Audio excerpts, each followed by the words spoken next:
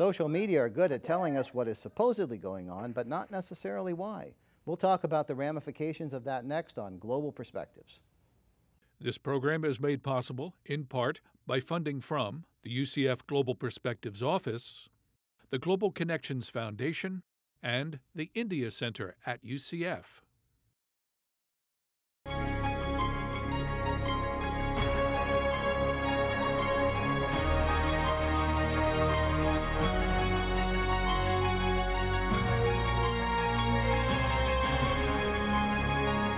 This is Global Perspectives with Pulitzer Prize winning commentator John Bersia. Welcome to Global Perspectives. How do you stay current on what's happening in the world? The morning paper and nightly news have been joined by online wire services, opinion blogs, and even up to the minute tweets. While the way people get their news continues to change, the importance of opinion journalists who help to frame the key issues remains the same. It is easy to get lost in this abundance of information. Opinion journalists find ways to provide the context. Today's guest, Froma Harrop, is a nationally syndicated columnist whose work appears in over 150 publications. And as president of the Association of Opinion Journalists, Harrop is an advocate for high standards among opinion writers and editors. Hello, Froma. Welcome to the show. Thanks, John, for inviting me. Now, you recently appeared on The Daily Show. How did that happen, and what was the experience like? You're still laughing. I'm still laughing. Indeed, I did. Uh, what happened was about 15 months ago, uh, uh, the president of my organization, the Association of Opinion Journalists, resigned, and as vice president, I was suddenly thrust into the president's chair. Uh, meanwhile, people elsewhere in the organization were starting something they were calling the Civility Project. Now, come summer, I wrote a column in which I um, called the uh, Tea Party people. This was during the uh, debt ceiling debate, uh, economic terrorists, and uh, the Wall Street Journal picked up on that. Uh, they had called them hobbits, so I think they were trying to deflect some of the anger elsewhere. And so they, they ran a whole bunch of blog entries um, uh, saying that I was president of a group running a thing called the Civility Project, while calling uh, uh, Tea Party people economic terrorists, and that that was somehow uh, a conflict. Uh, the Daily Show picked up on it.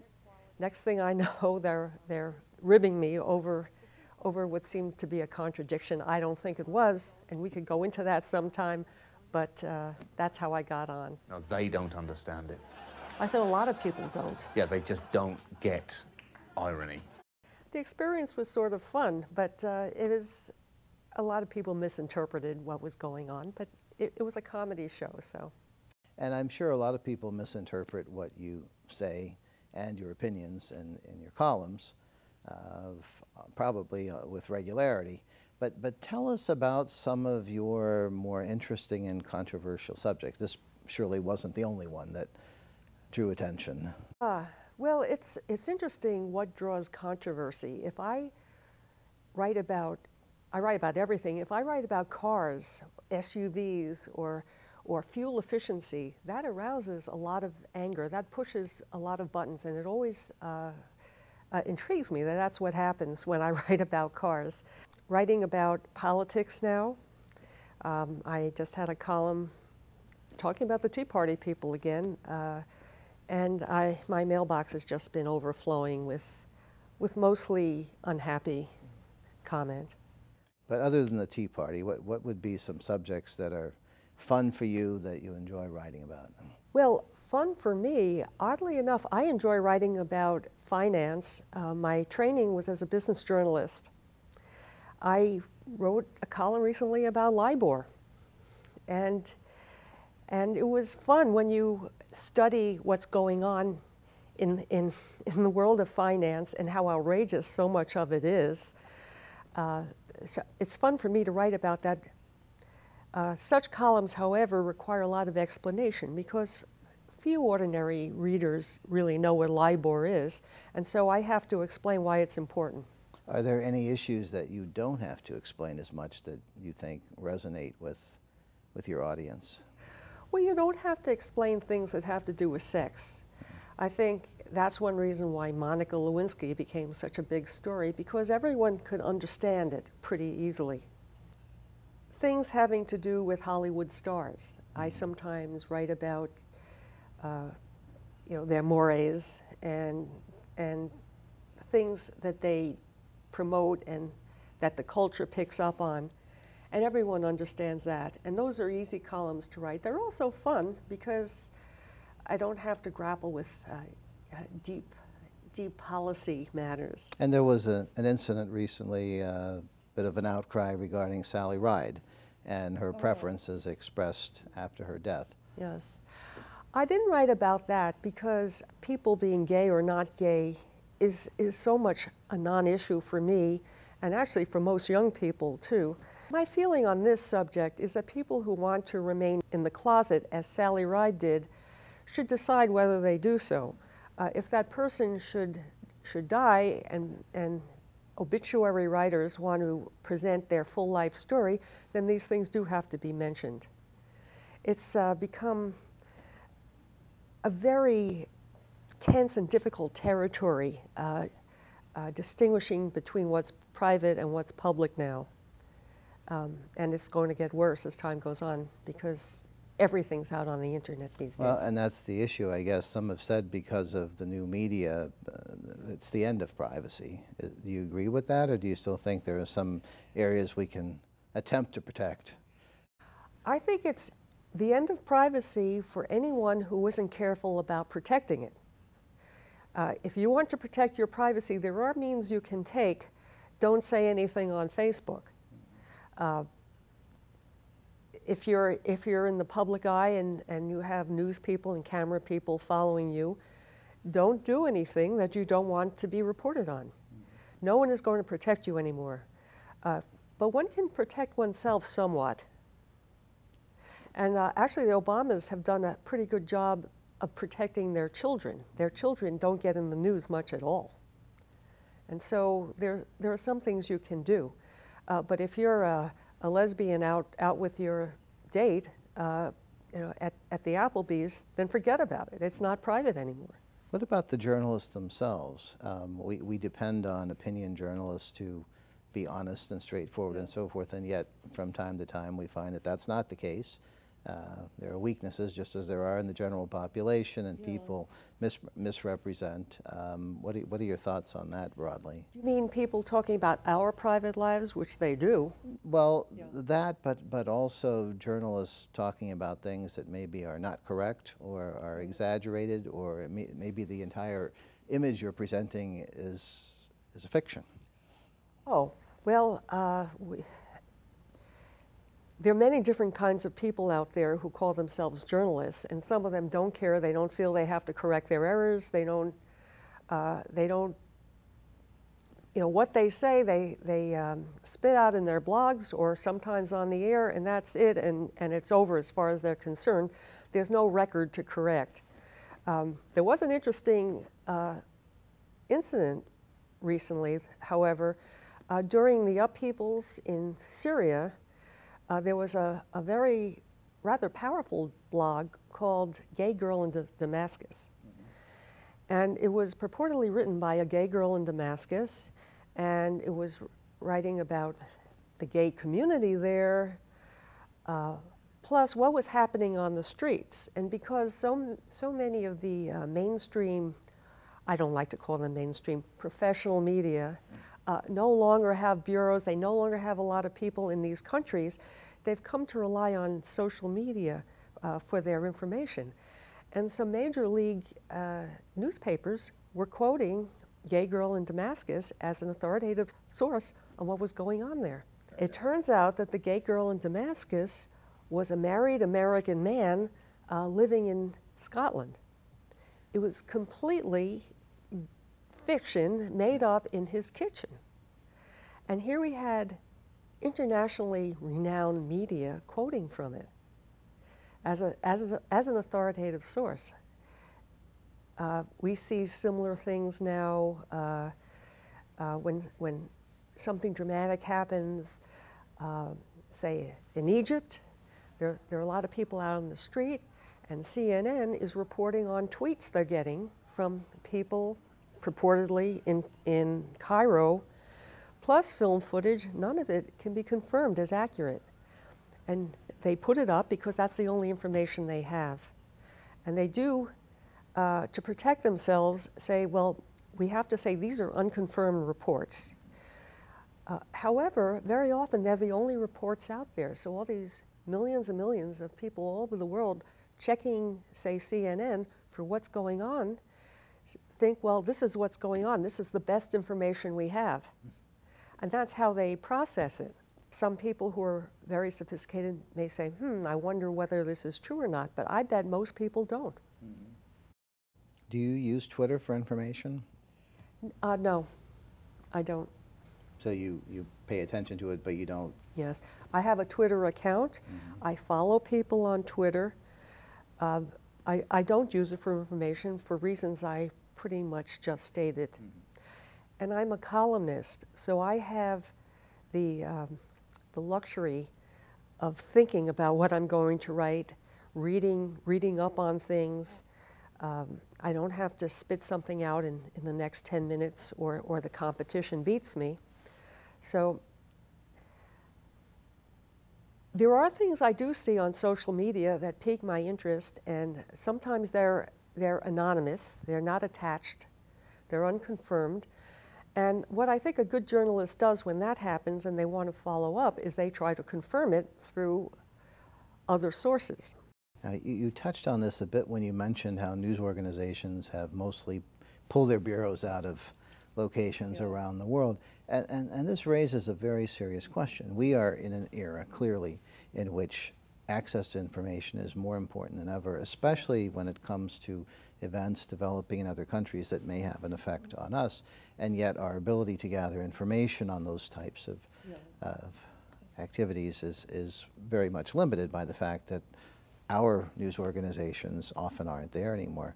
Yes. Tell us what you think is the role of international in terms of news coverage generally and then in the opinion writing area specifically.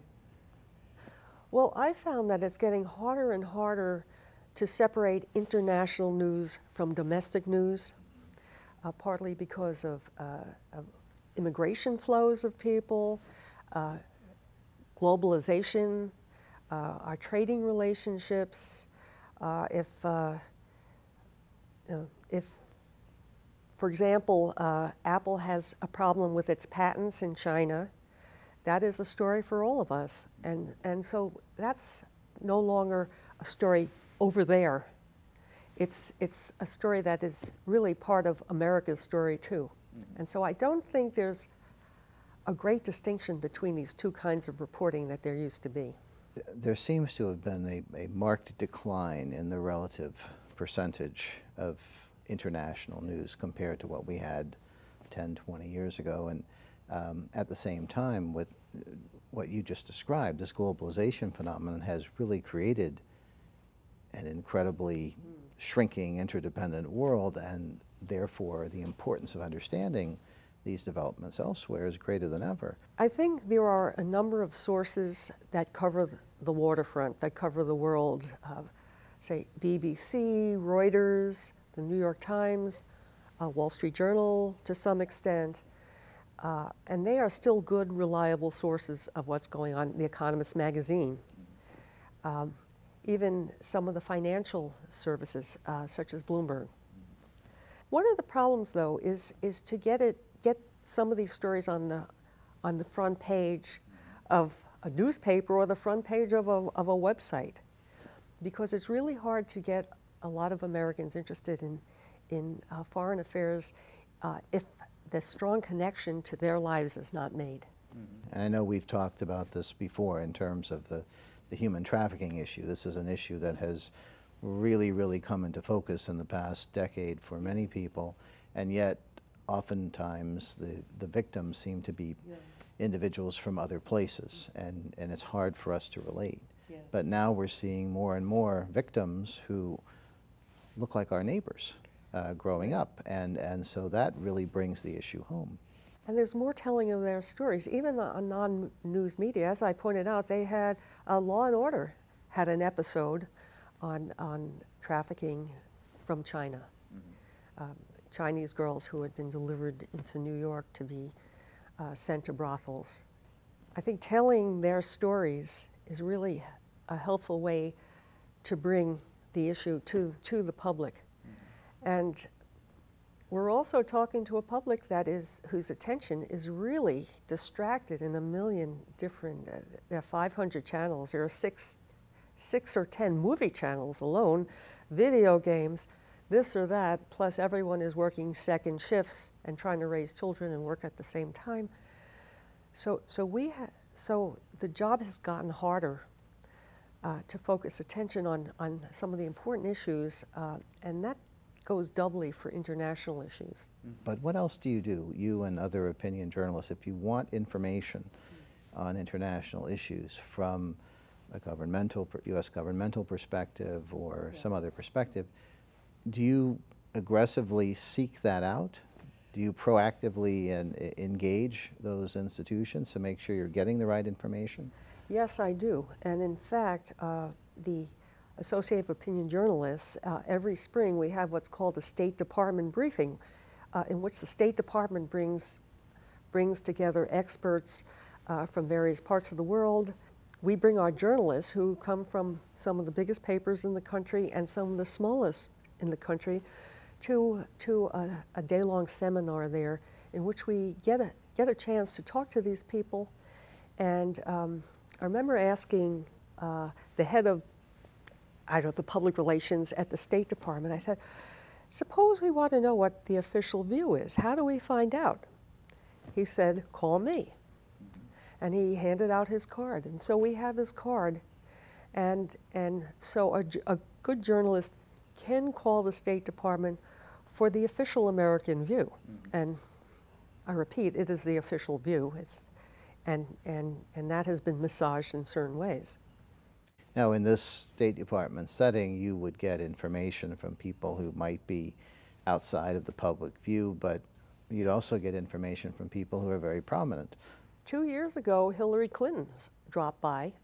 Uh, this, it, it, happened that our briefing was taking place the morning after um, Osama bin Laden had been killed, and so Clinton was all over the State Department, uh, and she stopped by to talk to us which was lucky and, and very interesting at the same time. Now, you would ordinarily hope that she would come to these, yes. but this was one time you probably thought she wasn't showing up. In the past, most, most secretaries of state do attend our briefing. Uh, in the last few years, they haven't, uh, but two years ago was an exception when, when uh, Clinton came. But we do talk to uh, we, we, we talked to Holbrooke. I mean, we, we talked to rather high officials in the State Department. Uh, and, and that's very helpful for us, uh, not only in, in terms of alerting us to things to write about and telling us where to find more information on it, but, um, but getting us going on, on writing on these subjects as opposed to the 20,000 other subjects we have, uh, especially in this political year. Mm -hmm uh, that take up our time.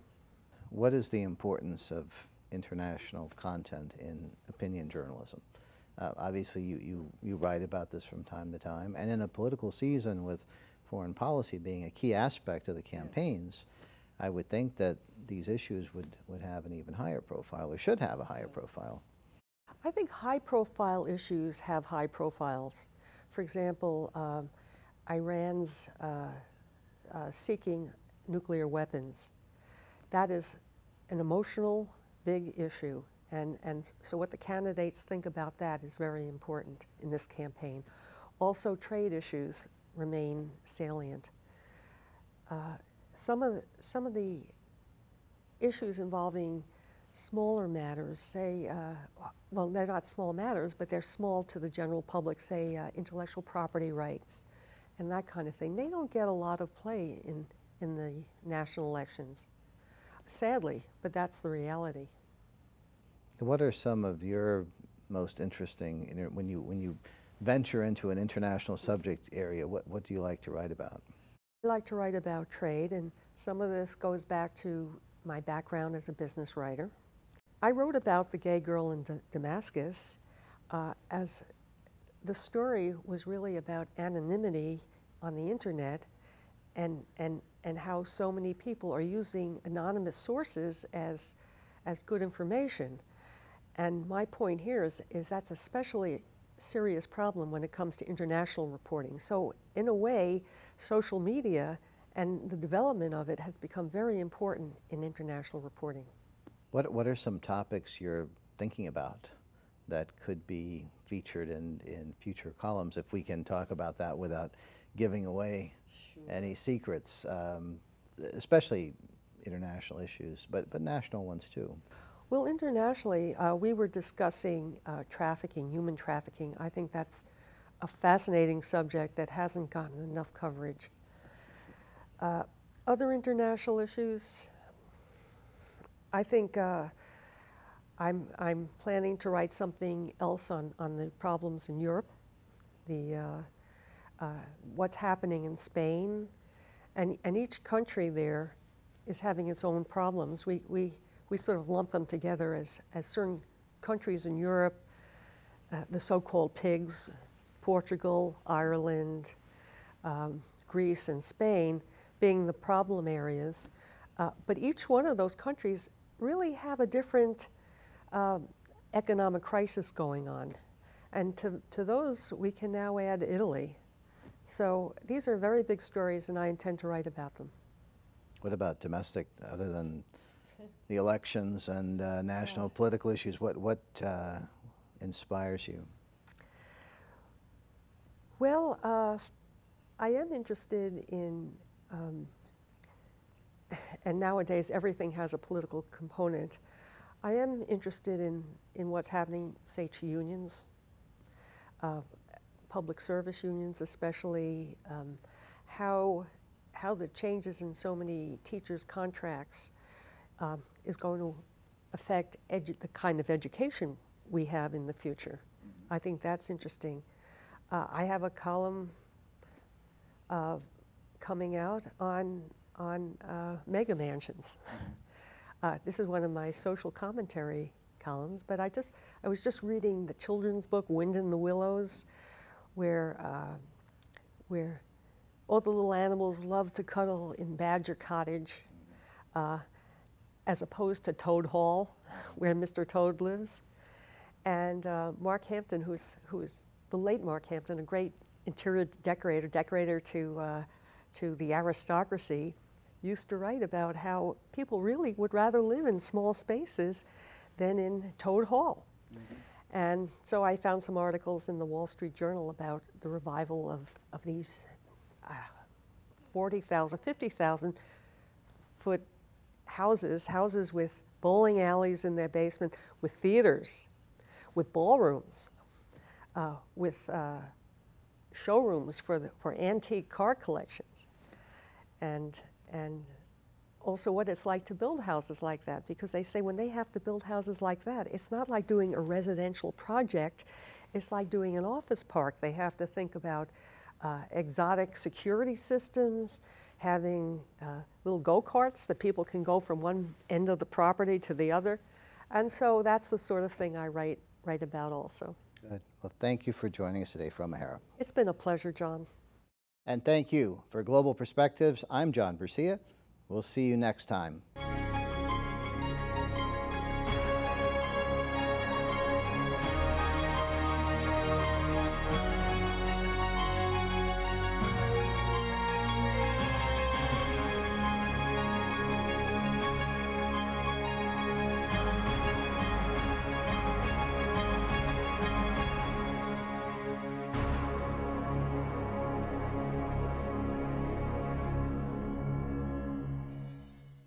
This program is made possible, in part, by funding from the UCF Global Perspectives Office, the Global Connections Foundation, and the India Center at UCF.